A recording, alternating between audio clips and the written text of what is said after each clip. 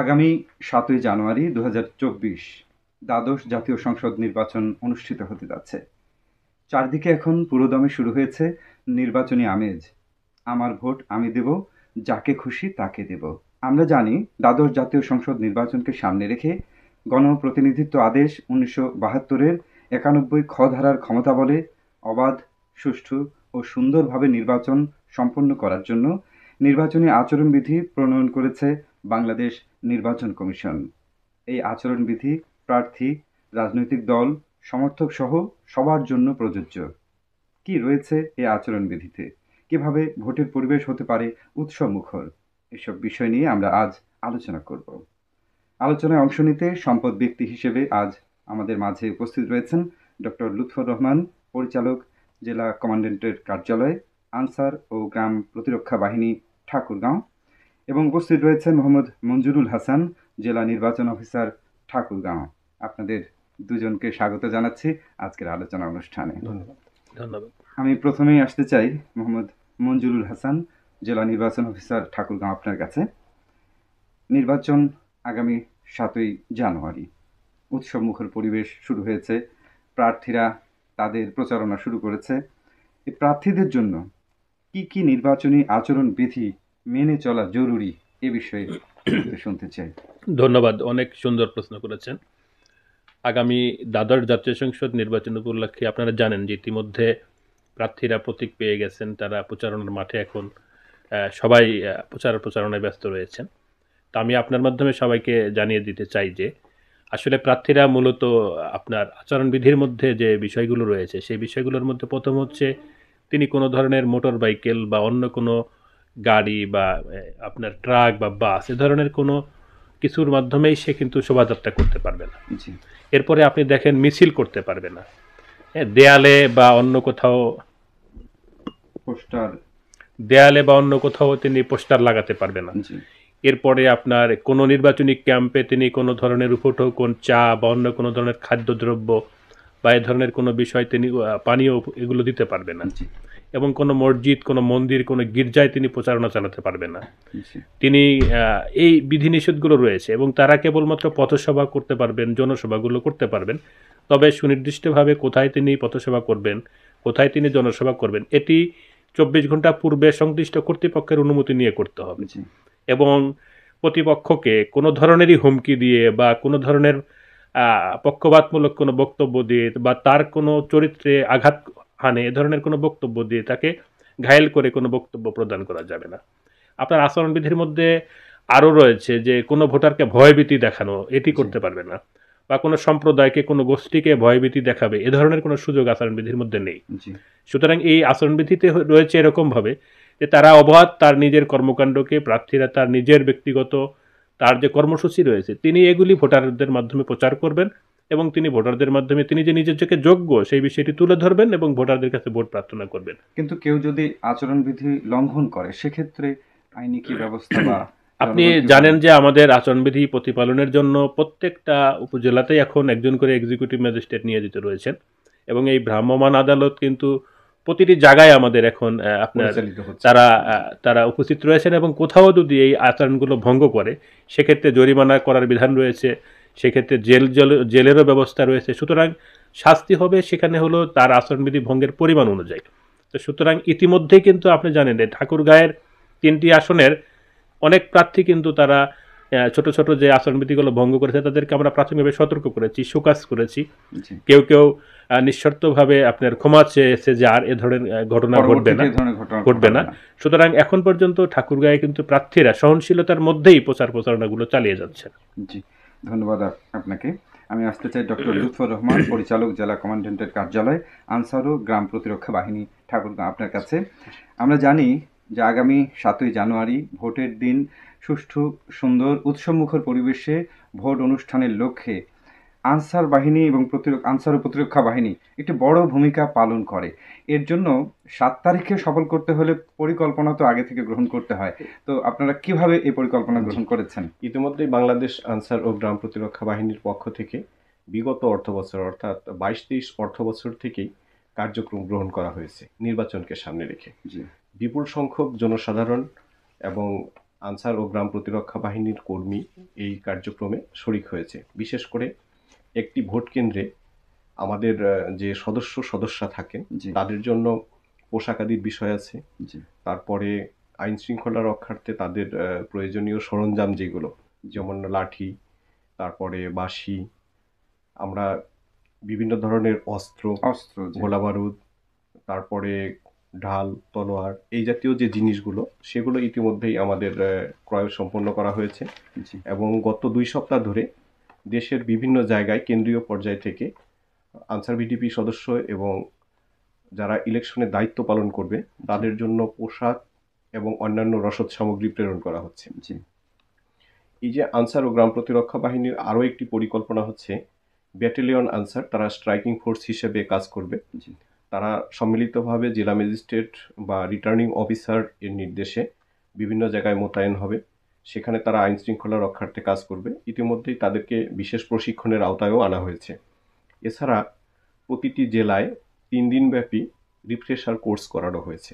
VDP member এবং সাধারণ আনসারদের সেখানে আমাদের ইলেকশনের পক্ষ থেকে একজন ইলেকশন কমিশনের পক্ষ থেকে একজন আইন শৃঙ্খলা রক্ষাকারী বাহিনীর পক্ষ থেকে একজন ম্যাজিস্ট্রেসির পক্ষ থেকে একজন এসে নির্বাচনকালীন দায়িত্ব কীভাবে পালন করতে হবে এবং নির্বাচনে কীভাবে সক্রিয় অংশগ্রহণ করে অবাধ সুষ্ঠু এবং নিরপেক্ষ নির্বাচন অনুষ্ঠান করা যায় তার জন্য বিভিন্ন নির্দেশনা সরকারের পক্ষ থেকে যেগুলো আছে সেগুলো শেখানো হয়েছে।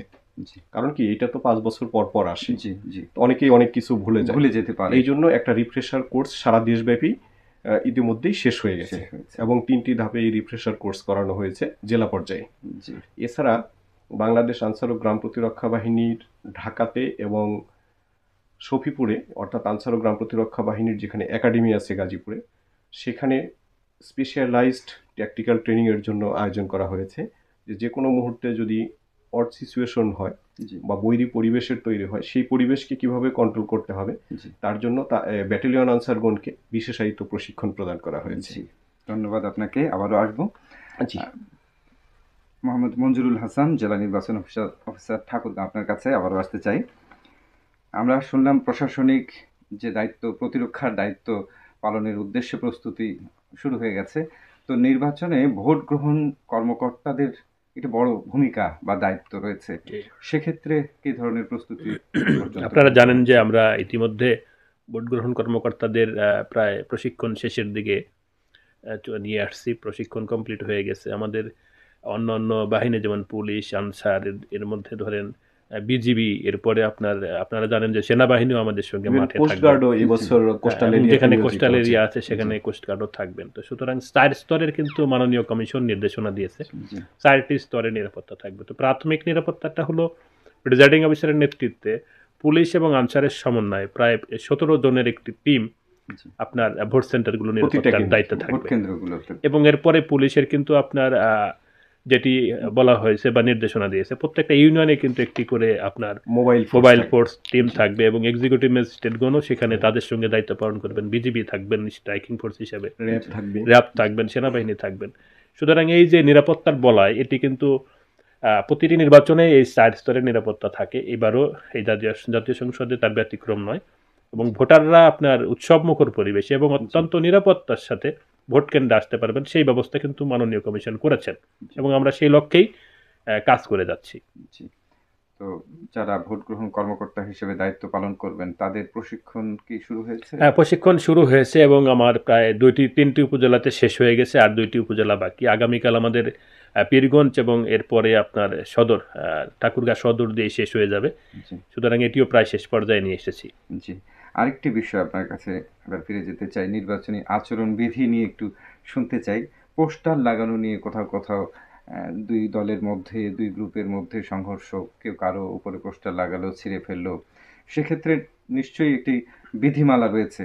নির্বাচনী পোস্টার লিফলেট কোথায় লাগাতে পারবেন কোথায় লাগাতে পারবেন না এইটি সম্পর্কে একটু আসলে আপনাকে আমি বলি যে ইতিমধ্যে কিন্তু আমরা প্রার্থীদের সঙ্গে মত বিনিময় করেছি।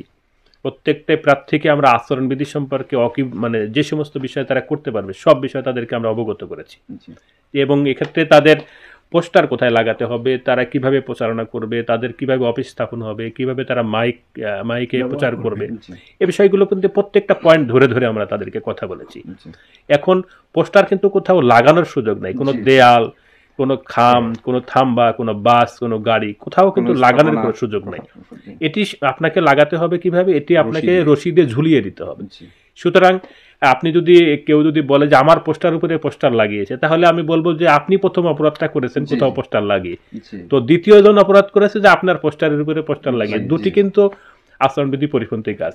এবং এগুলো আমাদের নজরে আসার সঙ্গে সঙ্গে আমরা নোটিশ করছি এবং এগুলোকে আমরা অপসারণের জন্য ব্যবস্থা নিচ্ছি। এবং আমাদের একটি মনিটরিং টিম রয়েছে আইন শৃঙ্খলা সেল রয়েছে আমাদের একটি অবজারভেশন টিম রয়েছে। সুতরাং আমাদের টিম কিন্তু প্রতিনিয়ত ভিজিলেন্স আছে। এবং এই টিমের মাধ্যমে আমরা কোথাও কোনো ধরনের আচরণবিধি ভঙ্গ হলে সে বিষয়ে কিন্তু তাৎক্ষণিক ব্যবস্থা গ্রহণ করছি। জি আমি আর একটু অ্যাড করতে চাই। সে বিষয়টি হচ্ছে পোস্টারের সুনির্দিষ্ট একটি সাইজ আছে এবং কালারের বিষয়েও একটা সুনির্দিষ্ট দিক নির্দেশনা দেওয়া জি আছে। জি আসলে রঙিন পোস্টারের কোনো সুযোগ নাই সাদা কালো পোস্টার।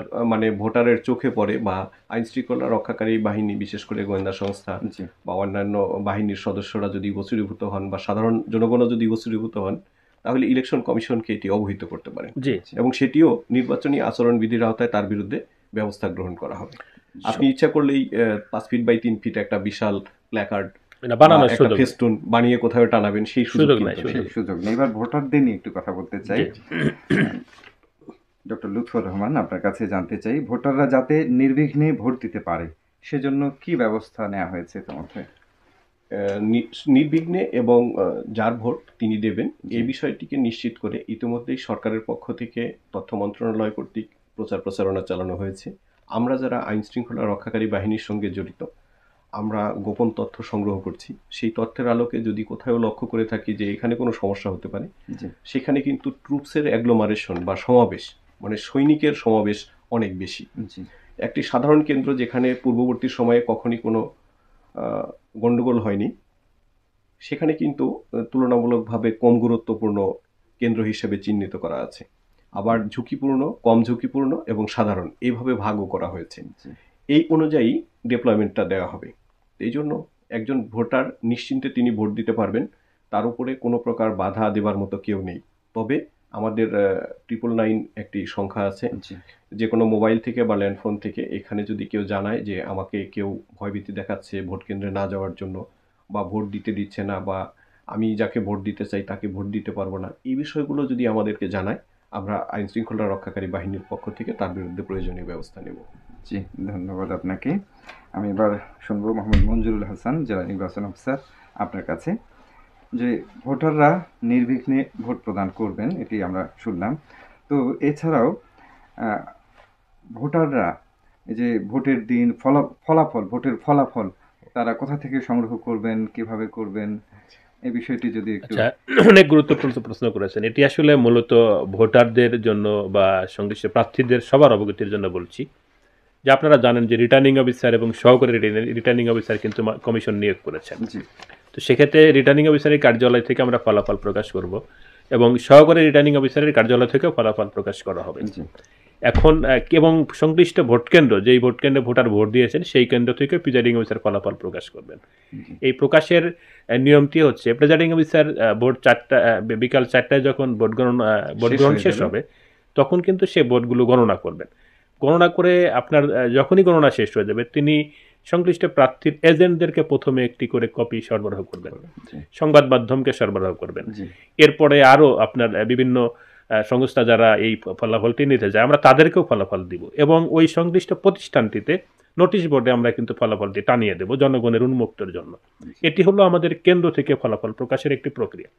এরপরে উপজেলাতে যেটি সহকারী রিটার্নিং অফিসারের কার্যালয় সেই কার্যালয় থেকেও এই ফলাফলগুলি প্রিজাইডিং অফিসারগুলো যে ফলাফলগুলো বিভিন্ন কেন্দ্র থেকে আসবে তিনিও সেটি সেখানে একসঙ্গে করে এটি প্রকাশ করবেন। সেখানে সংবাদ মাধ্যম গণমাধ্যম যারা থাকবেন বিভিন্ন মিডিয়া থাকবেন এরপরে ধরেন বিশিষ্ট ব্যক্তিগণ থাকবেন প্রার্থীগণ থাকবেন প্রার্থীর এজেন্টগণ থাকবেন এবং ভোটাররাও চাইলে সেখানে থাকতে পারে এই প্রক্রিয়াটি দেখার জন্য। অর্থাৎ এটি একটি স্বচ্ছ প্রক্রিয়া। এখানে কিন্তু কোনো ধরনের লুকোনো বা কোনো প্রকাশ বা কোথাও কোনো বাধা বিঘ্ন করার কোনো সুযোগ নেই। এবং তদ এমনিভাবে জেলা পর্যায়ে জেলা পর্যায়ে কিন্তু রিটার্নিং অফিসারের কার্যালয়ে আমরা একটি কন্ট্রোল রুম থাকবে একটি প্রচার কেন্দ্র থাকবে যেখানে আমরা ফলাফলগুলো একসাথে করব এবং এটিও আমরা সেখান থেকে প্রচার করব একই রকমভাবে। তো সুতরাং এই ফলাফলটি আপনার বিভিন্ন মিডিয়াতেও প্রচার হবে বা আপনাদের মাধ্যমে এই যে আপনার বেতার বা অন্যান্য যে এবং electronic মিডিয়া আছে সবার কিন্তু এটি প্রচার করতে পারবেন। সুতরাং এটি অবাধ মানে এটি জনগণের ভোটাধিকার জনগণ কীভাবে ভোট দিয়েছে তিনি স্বচ্ছতার সঙ্গে ভোট দিয়েছে এবং সত্যতার সঙ্গে ফলাফলটি প্রকাশ হবে এ বিষয়ে মাননীয় কমিশনের নির্দেশনা অনুযায়ী আমরা সমস্ত কার্যক্রম গ্রহণ করেছি। জি যে আমি আরেকটু বলি একটা বিষয় অ্যাডিশনাল সেটা হচ্ছে এই যে ভোট কেন্দ্রে যে গণনাটা হলো জি। প্রতিটি প্রার্থীর একজন করে এজেন্ট আছে। জি। ফলাফল যখন গণনা হবে রুমে বের হওয়ার আগেই এর স্বচ্ছতা নিশ্চিত করার জন্য ওই এজেন্ট স্বাক্ষর করে দেবে জি। এটি হচ্ছে স্বচ্ছতার একেবারে প্রথম ধাপ। যখনই সকল এজেন্ট স্বাক্ষর করে দিল তারপরে সেটা চলে আসবে উপজেলা কার্যালয়ে। উপজেলা কন্ট্রোল রুম থেকে আবার রিটার্নিং অফিসারের কার্যালয়ে জানানো হবে। না, প্রার্থীর এজেন্ট কিন্তু স্বাক্ষরই করবেন না তাদেরকে আমরা একটা কপি কপিও দেওয়া হবে। তাদের এই কারণ- বিষয়টা খুবই স্বচ্ছ। গণনা তার সামনে গণনা করা হবে ব্যালটগুলো তার সামনে খোলা হবে। তিনি এটি দেখবেন তার প্রার্থী কতগুলো ভোট পেয়েছেন তিনি সচক্ষে দেখবেন। এবং এই ফলাফলগুলোর সমস্ত কার্যক্রম কিন্তু সে দর্শন করবে সে ফলাফল তার হাতে আমরা প্রেরণ করব। এই জন্য এই প্রক্রিয়াটি যথেষ্ট স্বচ্ছ। এবং কেউ ওই যে আমরা দূর থেকে রিউমার ছড়াই। ইলেকশন নিয়ে যেন কেন আমরা রিউমার না ছড়াই। জি এটি খুবই এই রিউমারটাই হচ্ছে অনেক সময় আইন শৃঙ্খলা রক্ষাকারী বাহিনী বা প্রশাসনের জন্য কষ্টকর একটা বিষয় হয়ে দাঁড়ায়। বিষয়টা কিন্তু সরকারের পক্ষ থেকে যুগ যুগ ধরে ইলেকশন হচ্ছে সরকার পরিচালনা করছে এবং সাধারণ জনগণ ভোট দিচ্ছে। সেখানে কিন্তু একটা স্বচ্ছ সুনির্দিষ্ট কাঠামোগত প্রক্রিয়া আছে। জি জি। কেউ যদি গুজবের মাধ্যমে এটা এটা বলে সেদিকে যেন আমি জনসাধারণের কাছে বিনীত অনুরোধ করব। দয়া করে আপনারা এ বিষয়ে কোনো গুজবে কান দেবেন না। সরকারের পক্ষ থেকে যথেষ্ট স্বচ্ছ অবাধ এবং নিরপেক্ষ নির্বাচন অনুষ্ঠানের আয়োজন করা হচ্ছে। আপনারা অংশগ্রহণ করবেন এবং স্বচ্ছতার সহিতই আপনারা সকল ফলাফল পেয়ে যাবেন। আরেকটি বিষয় আছে আপনার যে সমস্ত এজেন্টগণ আপনি জানেন যে এই বছর নির্বাচন কমিশনের নির্দেশনা অনুযায়ী আমরা প্রার্থীদের এজেন্টদেরকেও প্রশিক্ষণ দিচ্ছি। আপনারা জানেন যে অনেক এজেন্ট কিন্তু ভোট গ্রহণের সময় যখন তার থাকার কথা সে কিন্তু যথাসময় আসেন না। ধরেন আটটায় ভোট শুরু হয়ে গেল তো সে আসলো নয়টার সময়। তো আসলে তার প্রার্থীর পক্ষে কিন্তু সে আর একটা ঘণ্টার যে কার্যক্রম এটা এটি কিন্তু তিনি দেখতে পান নাই। এই জন্য আমরা কিন্তু এই বছরে ভোটারদের প্রার্থীদের যারা এজেন্ট হবে তাদেরকেও প্রশিক্ষণ দিচ্ছি। এবং তারাদের কি কর্মকাণ্ড তারা কি কি কাজ করতে পারবে কি কি কাজ করতে পারবে না তাদের কি দায়িত্ব তাদের কি কর্তব্য এই বিষয়গুলো কিন্তু আমরা সুস্পষ্টভাবে তাদেরকে বলে দিচ্ছি। এবং তাদের মাধ্যমে প্রত্যেকটা প্রার্থীর এজেন্টদেরকে কিন্তু আমরা এই এই কার্যক্রমগুলোর সঙ্গে পরিচয় করে দিচ্ছি। আশা করছি যে এই বছর যে নির্বাচন কমিশন যে নির্দেশনাগুলো দিয়েছে পুরোপুরি বাস্তবায়ন হলে আমি আশা করব যে প্রতিটা প্রার্থীরা যদি সহযোগিতা করে এবং এজেন্টরা যদি সহযোগিতা করে আমি মনে করি যে মানুষের মধ্যে আর কোনো ধরনের ভ্রান্ত ধারণা থাকবে না। জি। তো আমিও প্রায় যত নির্বাচন হয়েছে বিগত দশ পনেরো বছরে আমি ভোট গ্রহণকারী কর্মকর্তা হিসেবে কাজ করেছি। তো আমার অভিজ্ঞতা হলো যারা এজেন্ট থাকেন পাঁচটা বুথে পাঁচজন এজেন্ট থাকল তার মধ্য থেকে একজন গণনার সময় থাকবেন। জি। প্রত্যেক প্রার্থীর জন্য। তো তারা সেখান থেকে ভোট ফলাফল প্রকাশের আগেই বের হবার চেষ্টা করেন। তো বের হতে দিলেই একটু সমস্যার সৃষ্টি হয়। স্যার যেমন বললেন রিউমার ছড়ানোর ব্যাপারটি। এই যে এই বিষয়টি আমরা কিন্তু স্বভাবতই সকল এজেন্টকে বলি যে আপনি একজন প্রিজাইডিং অফিসারের সঙ্গে সঙ্গে আপনি আপনার জায়গাটিতে প্রবেশ করবেন।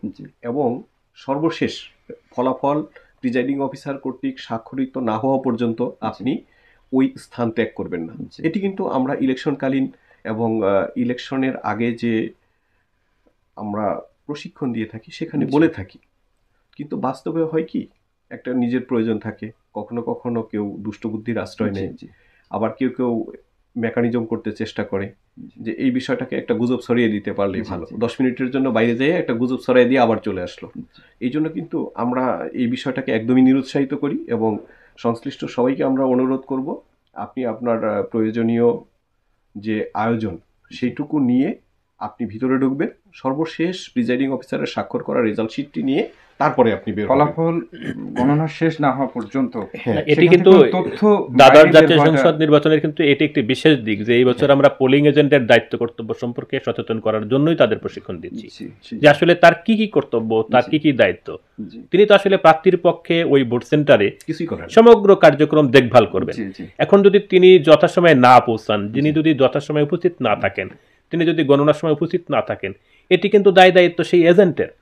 এজেন্ট দায়িত্বপূর্ণভাবে যদি দায়িত্ব পালন করে আমি মনে করি তার প্রাপ্তির প্রত্যেকটা কাজ তিনি বুঝে নিতে পারবে প্রিজাইডিং অফিসারের কাছ থেকে। এবং পাঁচজন পোলিং এজেন্ট এবং একজন একটি সেন্টারে আসলে যতগুলো বুথ থাকবে ততগুলো এজেন্ট নিয়োগ হবে। এবং এটি কিন্তু প্রার্থী নিযুক্ত করে দেবেন যে পাঁচজনের মধ্যে কে কে গণনার সময় গণনার থাকবে? সময় উপস্থিত থাকবেন এটি কিন্তু প্রেসক্রাইব ফর্মেই বলে দেওয়া আছে জি, জি। সুতরাং এখানে ওই গণনা করার সময় যিনি উপস্থিত থাকার কথা তাকেই প্রিজাইডিং অফিসার গণনার আগে কল করবেন এবং তার গণনার কক্ষে তাকে নিয়ে যাবেন জি, জি। এবং এর ব্যত্যয়টি আসলে যারা ঘটাবেন আমি মনে করি তারা হয়তো আইনটি ভালো করে জানেন না অথবা প্রার্থীর পক্ষে তিনি সহযোগিতা করতে চান না অথবা অন্য কিছু আমি মনে করি সবাইকে আহ্বান করব যে আপনারা যারা পোলিং এজেন্ট হবেন আপনারা দায়িত্ব কর্তব্য সম্পর্কে সচেতন হবেন এবং আপনার প্রাপ্তির পক্ষে আপনার যে দায়িত্ব কর্তব্যগুলো কেন্দ্রের মধ্যে সহযোগিতা করার কথা ছিল সেটি আপনি করবেন। অর্থাৎ ভোটকে সুষ্ঠু সুন্দর উৎসবমুখর করতে হলে সবার সহযোগিতা প্রয়োজন। প্রয়োজন। আমি এবার একটু ভোটারদের নিয়ে কথা বলতে চাই। আমাদের অনেক প্রতিবন্ধী ভোটার থাকেন বিশেষ করে দৃষ্টি প্রতিবন্ধী যে ভোটার আছেন তারা কীভাবে ভোট প্রদান করবেন এটা যদি একটু আচ্ছা আপনি এটা একটু খুব সুন্দর প্রশ্ন করেছেন। আমাদের শুধু দৃষ্টি প্রতিবন্ধী না কিছু ডিজেবল ভোটার যারা হাঁটতে পারে না অনেক বয়বৃদ্ধ ভোটার আপনারা জানেন যে বাংলাদেশ কিন্তু ইলেকশন মানে একটা উৎসব। সুতরাং অনেক বয়স্ক লোক মায়েরা আপনার আমাদের বৃদ্ধ যারা আছেন বয়বৃদ্ধ যারা আছেন তাদেরকে কিন্তু অনেকে দেখবেন যে কোলে করেও নিয়ে আসছে। তো সুতরাং আসলে ওই সময়ে আমাদের যেটি কাজ আমাদের এই যে আনসার সদস্যরা তাদেরকে আমরা ইতিমধ্যেই এই বিষয়গুলোতে বলে রাখছি যে এই ধরনের যেমন প্রেগনেন্ট মাদার যারা আসবে তাদেরকে কিন্তু আমরা লাইনে দাঁড়ানো দাঁড়াতে দেব না। তারা সঙ্গে সঙ্গে এ ধরনের থাকলেই আনসারের পুরো দায়িত্ব হবে তাকে আগে ভোটটা নিয়ে দিয়ে দেওয়ার জন্য সুযোগ করে দেওয়া। এরপরে যারা ব্লাইন্ড ভোটার বা ডিজেবল ভোটার অন্য কোনো কারণে তিনি তার নিজের ভোটটি দিতে পারছেন না এটিতে আসলে সুস্পষ্ট আইনটা হলো ওনার সঙ্গে যিনি আসবেন অর্থাৎ উনি যার সঙ্গে এসেছেন তার নিকটাত্মীয় ছেলে বা তার মেয়ে বা তার হাজবেন্ড বা তার যেরকম তার উনি যাকে বিশ্বস্ত মনে করেন যার সঙ্গে আসবেন মূলত তার তিনি তার পক্ষে ভর্তি প্রদান করবেন।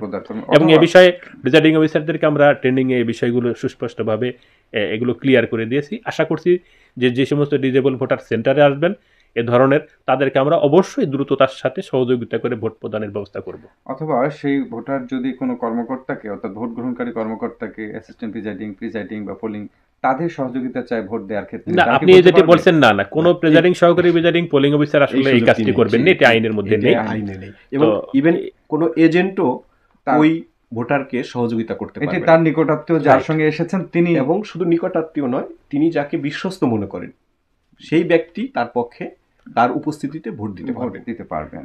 এবং উপস্থিতি হইতে হবে। এবং বুথে যেখানে ঢুকে সিলটা মারতে হয় সেই জায়গাটিতে ওই দুইজনই তার এখানে এখানে কথা হলো যে আসলে ডিজেবল পারসন কিন্তু বাসা থেকে একা আসতে পারবে না। জি জি ব্লাইন্ড হলেও কারও সহযোগিতা নিয়ে আসতে হবে। সে যদি হাঁটতে না পারে কারও কাঁধে ভর করে নিজে আসতে পারলে নিজে ভোটও দিতে হ্যাঁ, পারতো। হ্যাঁ। তো এখন কাঁধে ভর করে নিশ্চয়ই তার আপনজনকে সে ভর করে আসছে। সুতরাং আমরা তখন আর ওইটা তার কি হয় কোন আত্মীয় হয় এটি পরিচয় পরিচয় চেয়ে উনি তাকে বিশ্বাস মনে করেছে দেখেই তো তার সঙ্গে এসেছে। এইটুকু নিশ্চিত হতে হবে যে বিশেষ করে ভোট গ্রহণকারী কর্মকর্তাদেরকেও এই সুযোগটি দিতে হবে বা যারা দায়িত্বে আছেন হ্যাঁ। সঙ্গে যিনি আসবেন তাকেও ঢুকতে ভিতরে ঢুকতে হ্যাঁ, হ্যাঁ যুগ যুগ ধরেই দেয়া হচ্ছে এবং আহ, এবারেও সেটি আবার কোথাও যদি কোনো ধরনের সংশ্লিষ্ট ভোটার যদি বলেন যে তার ভোটে তিনি নিজে দিবেন বা অন্য কোনো ভাবে দিবেন তার ডিজায়ারকেও আমরা সেখানে প্রায়োরিটি দেব কোনো অসুবিধা নেই। প্রিজাইডিং অফিসাররা আমাদের ডিজেবল ভোটারদের ভোট দেওয়ার ব্যাপারে সর্বোচ্চ সহযোগিতা করবেন। আইন শৃঙ্খলা বাহিনীকেও সে ধরনের নির্দেশনা দেওয়া রয়েছে। জি ধন্যবাদ। আরেকটি বিষয় যেটি ভোট দেওয়ার ক্ষেত্রে সাধারণের মধ্যে একটু প্রশ্ন থাকে যে ভোট দিতে কি ভোটার আইডি কার্ড দরকার হবে কিনা কিংবা ভোটার আইডি কার্ড থাকলেই ভোট দিতে পারবে কিনা এই বিষয়ে যদি এটি অনেক সুন্দর প্রশ্ন করেছেন। আসলে এই প্রশ্নটা খুবই এই মুহূর্তে জানা প্রয়োজন। আসলে ভোটারকে ভোট দেওয়ার জন্য প্রথম শর্ত হলো তিনি ভোটার কিনা ভোটার তালিকায় তার নাম আছেন কিনা। আপনারা জানেন যে দুই হাজার পাঁচ সালের পহেলা জানুয়ারি যে এই ব্যক্তির বয়স আঠারো তাদেরকে আমরা ভোটার তালিকায় সর্বশেষ ভোটার তালিকা অন্তর্ভুক্ত করেছি। এবং এই এখন পর্যন্ত যে তালিকা আমরা প্রকাশ করেছি সেই তালিকায় তার নাম থাকলে তিনি ভোট দিতে পারবেন। আর যিনি আইডি কার্ড আছে আইডি কার্ড তিনি সঙ্গে যদি নিয়ে আসতে পারেন এটি আমরা আসলে তার বাধ্যতামূলক নয়। নিয়ে আসলে সে নিয়ে আসতে পারেন এটি তার ইচ্ছা। তবে ভোট দেওয়ার জন্য যেটি করতে হয় সেটি হচ্ছে যে আপনি জানেন যে প্রত্যেকটা ভোট কেন্দ্রের পাশেই কিন্তু দেখবেন যে অনেকগুলো প্রার্থীদের সমন্বয়ে সেখানে ভোটার ক্রমিক নাম্বার ইস্যু করা হয়। তিনি জি ক্রমিক নাম্বার ইস্যু করা হয়। তো তিনি মূলত সেখান থেকে তার ভোটারের ক্রমিক নাম্বারটি নিয়ে আপনার লাইনে দাঁড়াবে এবং তিনি ভোট দিবেন। ভোট দেওয়ার জন্য কোনো ধরনের জাতীয় পরিচয়পত্র আনতে হবে না বা বাধ্যতামূলক নয়। এবং কোনো ধরনের স্মার্ট কার্ডও তাকে সঙ্গে আনতে হবে এমনটি ম্যান্ডেটরি নয়। সে যদি চায় তার একটি স্মার্ট কার্ড আছে আমি এটি নিয়ে যাব। হ্যাঁ এটি দেখালে বরং আমরা তাকে প্রুভ করার জন্য প্রিজাইডিং অফিসারের জন্য এটি খুব সহজ হয়ে যাবে যে হ্যাঁ তিনি এই কেন্দ্রের ভোটার।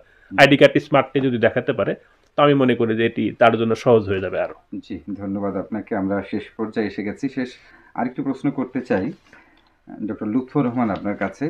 অনেক ভোটার যারা নতুন কীভাবে ভোট দিতে হবে কোন লাইনে দাঁড়াতে হবে তার বুথ কোনটি এটি সহযোগিতা করার জন্য আনসার এবং গ্রাম প্রতিরক্ষা বাহিনী কীভাবে সহযোগিতা করবে? একজন ভোটার যখন ভোট কেন্দ্রের নির্দিষ্ট এলাকার মধ্যে বা এরিয়ার মধ্যে প্রবেশ করে প্রবেশ করার পরে সে যদি কোনো আনসার বিডিপির সদস্য বা আইন শৃঙ্খলা রক্ষাকারী বাহিনীর অন্য কোনো সদস্যকে বলে যে আমার বাড়ি অমুক জায়গায় এটা আমার আইডি কার্ড বা এটা আমার ভোটার স্লিপ। তাহলে সংশ্লিষ্ট আইন শৃঙ্খলা রক্ষাকারী বাহিনীর সদস্য শুধু যে আনসার বিডিপি হবে তা নয় আনসার বিডিপি হতে পারে পুলিশ হতে পারে বা অন্য কোনো সংস্থা হতে পারে যারা আইন শৃঙ্খলা রক্ষার দায়িত্বে তারা তাকে লাইনে দাঁড় করিয়ে দেবেন এটি আনসার ভিডিপি করে থাকে বেসিক্যালি কারণ এদের সংখ্যায় থাকে অনেক বেশি। এবং তার আগেও প্রতিটি বুথের সামনে কোন এলাকার ভোটার ভোট দেবে সেটি সুনির্দিষ্টভাবে টানিয়ে দেওয়া হয়। টাঙিয়ে দেওয়া হয় যারা একটু পড়াশোনা জানে তারা দেখে নিতে পারে নিজের চোখে। আর কেউ যদি বুঝতে সমস্যা হয় বা একাধিক বুথ থাকে যে অমুক গ্রামের বুথটা কোন জায়গায় সেটাই আনসার সদস্য তাকে প্লেসমেন্ট করিয়ে দেবে। আমি একটু সহযোগিতা করি। আমাদের আহ, লুৎফর সাহেব খুব কিন্তু সুন্দর করে বলেছেন। তো এক্ষেত্রে একটু সাপ্লিমেন্টারি হলো যে আপনারা জানেন কি আমরা ভোট কেন্দ্রে কিন্তু পুরুষ এবং মহিলাকে আলাদা করে ব্যবস্থা রাখি। মহিলাদের জন্য মহিলা বুথ এবং পুরুষদের জন্য পুরুষ বুথ। এবং এখানে জানবেন যে এক থেকে সাড়ে চারশো বুথের জন্য একটি করে ভোটারের জন্য একটি করে বুথ রয়েছে। এবং আমরা ওই গেটের সামনেই কিন্তু লিখে দিচ্ছি ক্রমিক শূন্য এক থেকে চারশো পঞ্চাশ। নাম্বার ভোটাররা এক নাম্বার লাইনে দাঁড়াবে। এরপরে চারশো একান্ন থেকে পরবর্তী সাড়ে চারশো জন দুই নাম্বারে আরেকটা লাইনে দাঁড়াবে। এটি সুন্দর করে কিন্তু টানিয়ে দেওয়া থাকে। এবং এটি কিন্তু ভোটাররা সহজেই মানে দেখেই বুঝতে পারে যে তার সিরিয়াল নাম্বার কত তিনি কত নাম্বার লাইনে দাঁড়াবেন। এবং আমাদের মা বোনদের জন্য কিন্তু আলাদা বুথের ব্যবস্থা আছে। তাদেরটিও ঠিক একইভাবেই আমরা লাইন করে রাখি। সুতরাং তারাও সহজেই কিন্তু দেখতে পারে যে তাদের আসলে কোন বুথে ভোট দেবে।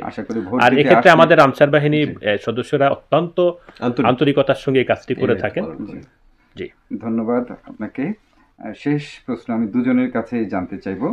প্রথমেই মোহাম্মদ মঞ্জুরুল হাসান জেলা নির্বাচন অফিসার আপনার কাছে শুনতে চাই। আমাদের প্রাণের চাওয়া উৎসবমুখর পরিবেশে ভোট গ্রহণ। এই ভোট গ্রহণ এবং প্রদানের পরিবেশ সৃষ্টির জন্য সাধারণ জনগণের ভূমিকা সম্পর্কে যদি শেষ কথা হিসেবে নিঃসন্দেহে জনতা যখন জানবে যে আমি আমার ভোটটি দিতে পারছি আমি মনে করি এর চেয়ে আর বড় কোনো বিষয় থাকতে পারে না।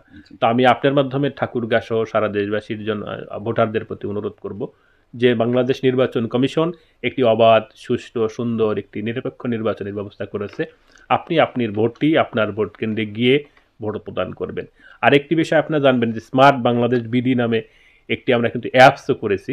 যে অ্যাপসের মাধ্যমে কিন্তু ভোটাররা কোন কেন্দ্রের ভোটার এবং তার ভোটার সিরিয়াল নাম্বার কত সেখানে কি কোন কোন প্রার্থী রয়েছেন এটিও কিন্তু তিনি সহজেই এখন গুগল প্লে স্টোরে গিয়ে। এটি অ্যাপসটি ডাউনলোড করে কিন্তু দেখে তিনি জানতে পারবেন। সুতরাং আমি মনে করি যে এটি একটি অনেক বড় ধরনের সুযোগ এই বছর সৃষ্টি হয়েছে।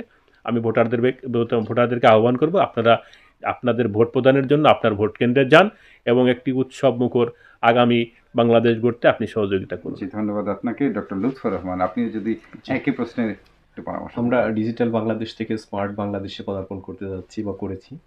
এই স্মার্ট বাংলাদেশের প্রতিটি নাগরিক হবে স্মার্ট জি। এবং সে স্মার্টলি ভোট দিতে পারবে। এর জন্য যে সকল আয়োজন তার সরকারের পক্ষ থেকে এবং ইলেকশন কমিশনের পক্ষ থেকে করা হয়েছে। আইন শৃঙ্খলা রক্ষার যারা দায়িত্বে আছি আমরা আমরা চেষ্টা করছি অবাধ নিরপেক্ষ এবং সুষ্ঠু নির্বাচন অনুষ্ঠানের জন্য যা কিছু করা দরকার সেগুলো করতে। এজন্য আমাদের প্রশিক্ষণ যেমন হয়েছে রসদ সামগ্রী জোগাড় হয়েছে। এখন সর্বশেষ যে বিষয়টি সেটি হচ্ছে ভোটাররা যেন নির্বিঘ্নে তার ভোট দিতে বাড়ি থেকে সেন্টারে চলে আসে। আশা করি এই ভোটারদের স্বতঃস্ফূর্ত অংশগ্রহণের মধ্য দিয়েই অবাধ নিরপেক্ষ এবং সুষ্ঠু নির্বাচন অনুষ্ঠান সম্পন্ন হবে।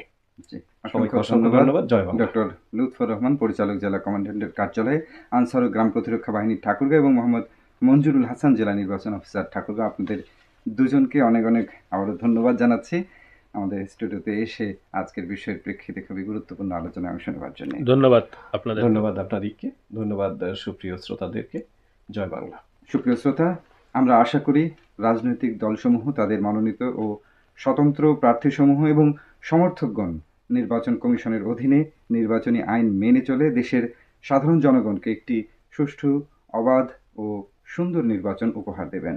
আসুন, আমরা সকলে নির্বাচনী আচরণবিধি মেনে চলি এবং সবাই মিলে উৎসবমুখর পরিবেশে ভোট প্রদান করে আগামীর বাংলাদেশের দায়িত্ব সঠিক নেতৃত্বের হাতে তুলে দেই, যার হাত ধরে বাংলাদেশ হবে সুখী ও সমৃদ্ধ দেশ। এ প্রত্যাশায় শেষ করছি আজকের অনুষ্ঠান।